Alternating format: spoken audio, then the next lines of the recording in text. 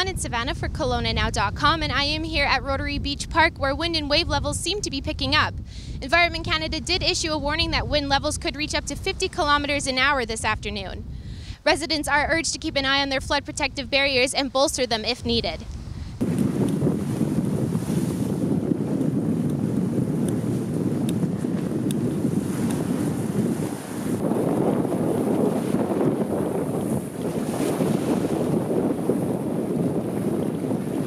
To stay up to date on the latest flood information, head to KelownaNow.com. For Kelowna Now, I'm Savannah Bagshaw.